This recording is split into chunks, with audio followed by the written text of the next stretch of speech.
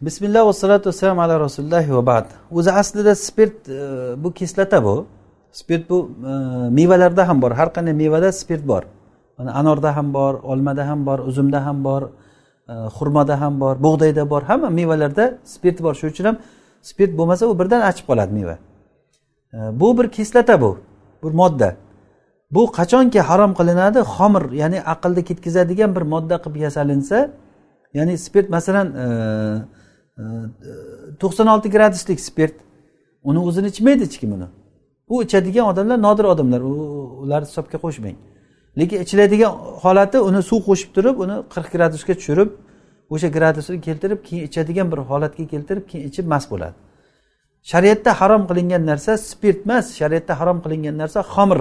Ya'ni bu degani aqlni ketkazuvchi narsa. Buni ichiga nasha ham kiradi. Nasha spirt emas lekin harom. Nima uchun? Chunki aqlni ketkazadi. Aqlni ketkazgan narsa harom bo'ladi. Aqlni ketkazuvchi bo'lganligi uchun harom bu. Ammo mast qilmasa bu mast qilmaydigan narsa bu harom bo'lmaydi. O'sha uchun ham uni tarkibida spirt borsa man misol uchun e, qancha ko'p ichsa ham mast qilmasa u demak u spirti bor deb e'tiborga olinmaydi. Masalan bir paqir ikki paqir ichsa ham mast qilmaydigan darajada bo'lsa o'zi odatda odam icholmaydi buni. Ichgan taqdirda ham qancha ko'p ichsa ham mast qilmasa demak bu e, mast qiluvchi narsa degan xamir degan ismni olmaydi. Ammo xamir degan ismni oladi ko'pi mast qilsa masalan pivo mana o'n ikki gradus spirti bor ichida deydi lekin ko'proq ichsa mast bo'lib qoladi odam. Demak buni ozginasi ham bir tomchisi ham harom bo'ladi. Ammo ko'pi mast qilmasa uni ozi ham harom bo'lmaydi ko'pi mast qilmaganda u xamir hisobiga o'tmaydi. Aroq hisobiga o'tmaydi u narsa. Spirt bu bir modda bu kislota u. shuning uchun ham uni spirt bilan olloh harom qilgan xamirni ajratib olishligimiz kerak bo'ladi. Masalan u tozalikda hatto badanlarda masalan ukol qilishlik uchun ham ishlatiladi uni. Ya'ni nihoyatda toza bo'lganligi uchun. Hatto xamirni o'zi ham masalan qirq graduslik xamirni oling. Masalan qirq graduslik xamir bo'lib tursa ham o'sha xamirni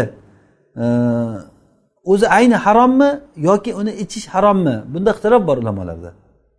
Ba'zi aymalar aytishganki uni o'zi tohir lekin ichish harom degan. Xuddi masalan butlar masalan butlarni qur'onda najas degan. Xuddi shunda butlar va xamirlarni birga keltirgan. Alloh taolo aytganki innamal xomru val maysiru val ansobu val azlam rijisun min amali shayton. Aroq qumor va butlar va qasam ichilinadigan haligi arablarda qasam ichilinadigan bir azlomlar bo'lgan e, taxtalari cho'plari. Bir safar qilmoqchi bo'lsa shuni tortgan polochkanday qilib turib birovga ha birovga yo'q deb yozilgan bo'lgan. Agar ha yozuv chiqsa ketgan yo'q yozuv chiqsa safardan qaytgan. Mana shunaqangi narsalar rijis bular iflos narsalar degan. Endi butlarda ham iflos narsa deyapti. Butni sindirib turib bir bo'lagini cho'ntakka solib namoz o'qisa najas bilan namoz o'qidi deyilmaydi bu. Bil ittifoq bu. Demak buni iflosligi o'zi nimadan? Alloh taolo rijisni nimaligini o'zi bayon qilyapti. Rijisun min amali shayton fajdanibuhu demak buni amali shayton amalidan bo'lgan rijis bu demak buni amali uni ishi shayt e, bu nima harom. Qimor ham xuddi shunday. Butlar ham haligi cho'plar ham xuddi shunday. Buni qilish bu ishlar bilan shug'ullanishlik harom. Aroqda ham ichish harom. Sotish harom. Pulini pulidan foydalanishlik harom.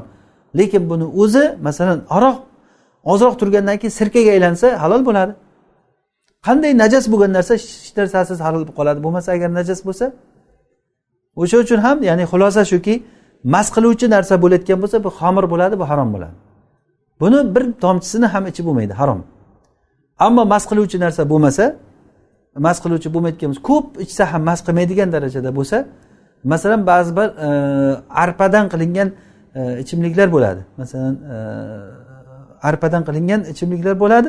Uni agar tarkibini tekshirsa qanchadir miqdorda spirt chiqishi ham mumkin. Arpada chunki spirt bor. Arpa achitilingan arpadan bo'ladi u ham. Lekin mast qilmaydi qancha ichsa ham mast qilmaydi o'shaning uchun mast qilmaydigan narsani ichishlik harom deyolmaymiz uni. Mast alloh taolo harom qilgan narsa muskir bo'lgan. Rasululloh sollallohu alayhi vasallam aytdilar kullu muskirin xamr va kullu xamrin harom. Har bir mast qiluvchi narsa xamr hisoblanadi. Demak xamr bo'lish uchun mast qiluvchi bo'lishi kerak.